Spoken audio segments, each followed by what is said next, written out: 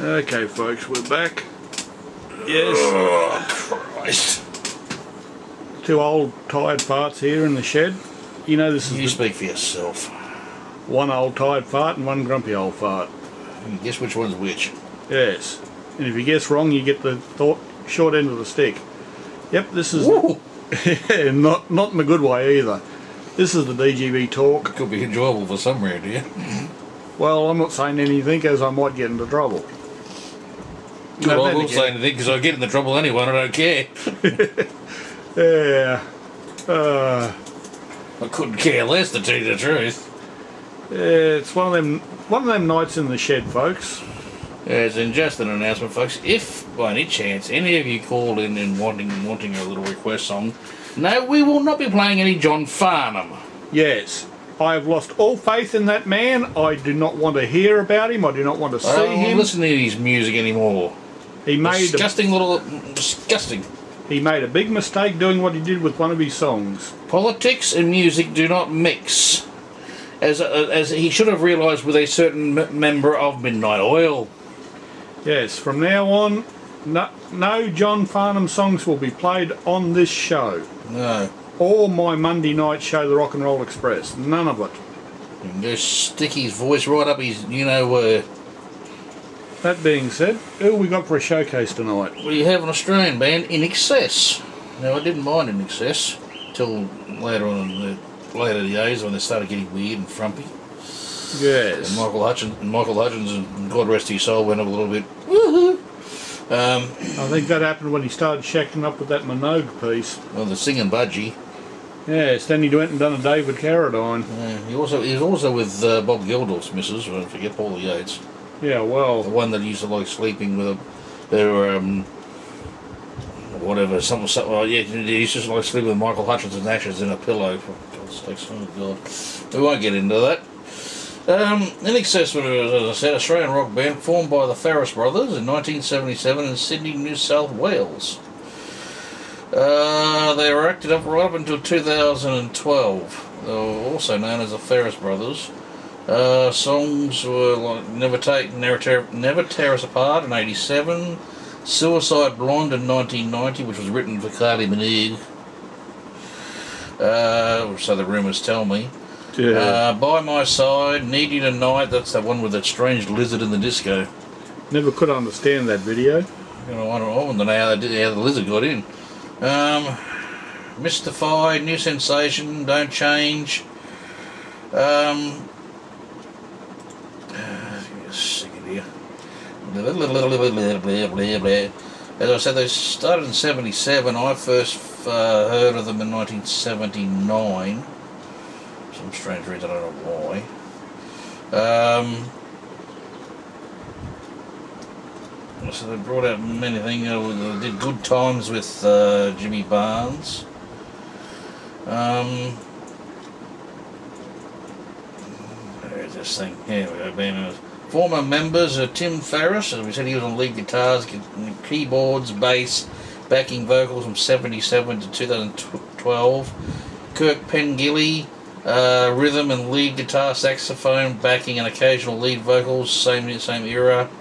Uh, Gary, Gary, Gary Beers, Gary, Gary Beers. I think somebody got a stutter. Stutter. I think his parents must have. Uh, bass, backing vocals, uh, one of the original band members, all the way through. Aaron, Andrew Farriss, keyboards, piano, rhythm guitar, harmonica, percussion, backing, and occasional lead vocals, same same same era. Jon Farriss, drums, percu- percussion, keyboards, backing vocals, same same time. Michael Hutchence up until 1997, uh, lead vocals. Jon Stevens then took over from 2000 to 2003. Didn't mind it, it wasn't there. Uh, there's n- uh, then from 2005 onwards to 2011, you had J.D. Fortune, who I'd never heard of in my life. Can't say no and then uh, from 2011 to the end to the end of the thing in 2012 was Ciaran Gribbin. oh.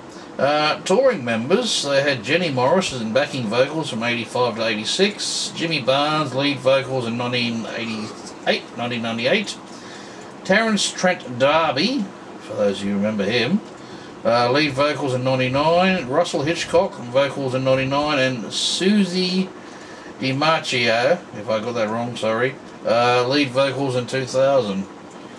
So, uh,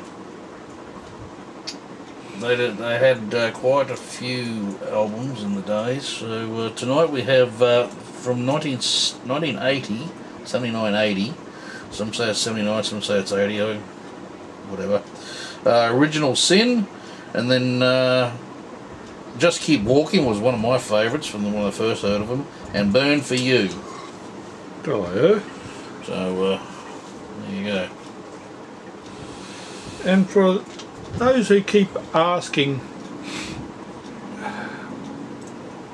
in conjunction with what we said earlier, okay? Yeah. Now, I am not going to say which way I am voting on this stupid voice business, No. but it will be no. I'm not saying which one I'm voting for, but I'm going to say no. Until you can go Get the hint? It's um, it's a silly. And, and folks, please don't tickle cross. Just put yes or no. Just put yes or no. If you put the wrong one down, you're going to end up with the yes vote automatically. Yeah, he's got it rigged. It's rigged to go that way. No, we're not being paranoid. No, we're not conspiracy nuts. It is done that way. Listen, they already, they already, pe- people, they have, you all have a voice in Parliament already. It's called your local member.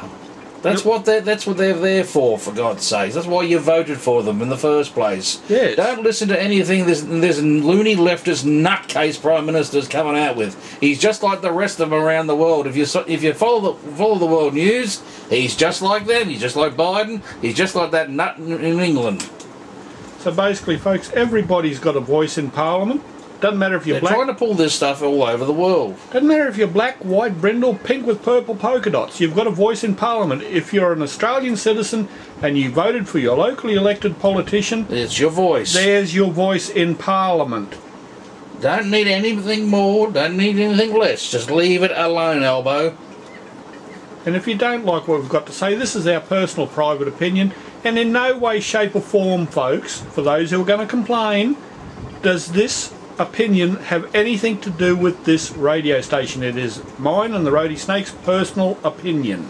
And yes, we do have Aboriginal ancestry in us, and we are against it as, mo- as like many other are. Our grandfather was a member of the Stolen Generation.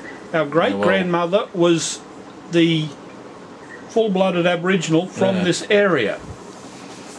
Yeah, well, like I said, there are there's many people I know of, of, of, of colour that don't want it either Exactly. It's only because your, they were never asked. it's only your city wannabes that are causing this the Richies. control, controversy. Anyway, let's Yeah. get on with the music before we bore them to death. Yes. Okay, here we go, folks. Enjoy.